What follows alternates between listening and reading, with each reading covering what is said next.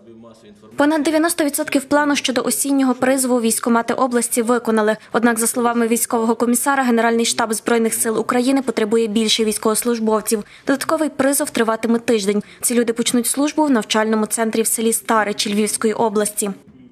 Додаткове завдання складає 70 чоловік, яких ми повинні е, оповістити, призвати і відправити до війська протягом наступного тижня. Вони будуть проходити службу, почнуть службу проходити в нас тут, в навчальному центрі в Старичах. Ці люди будуть залучатися до охорони баз, складів, арсеналів, і потреба в додатковому призові виникла.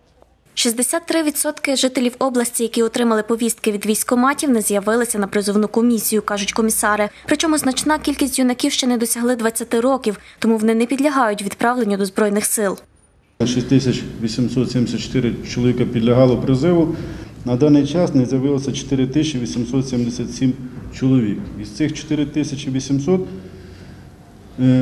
порядка 800 чоловік це юнаки віком від 18 до 20 років, які не підлягають відправці в Збройні Сили України, але в той же час вони повинні з'явитися в військовий комісаріат, щоб їм була надана відстрочка до досягнення 20-річного віку.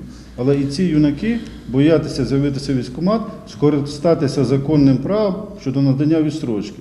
Із тої кількості, яка озвучена, що не являється, більш впевнений, з певністю можу сказати, що порядка 50% юнаків, які і не підлягатимуть призову, чи то по стану здоров'я, чи то вони матимуть право на відсрочку.